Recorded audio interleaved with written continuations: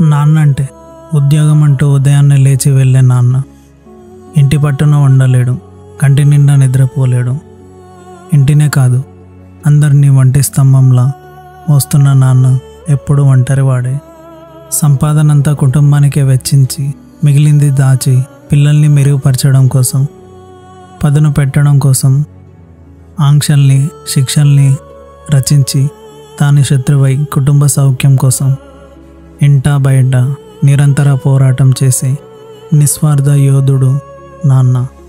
ఎవరు ఎక్కడా అని అధికారం చెలాయించే నాన్నే గనక ఒక్క క్షణం మనసు మార్చుకొని నా సంపాదన నా ఇష్టం అనుకుంటే ఎవరెక్కడ?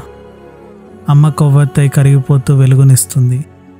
నాన్న అగ్గిపుల్లలా ఆ వెలుగుకు నాంది.